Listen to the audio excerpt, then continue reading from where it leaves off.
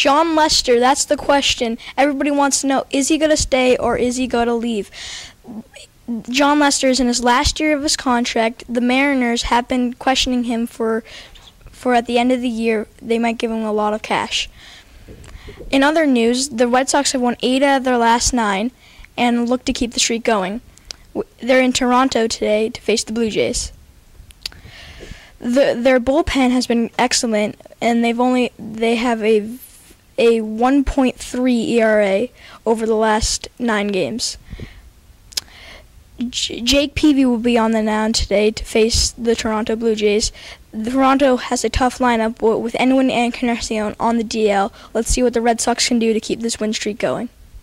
I'm Quinn McCarron from ESPN signing off.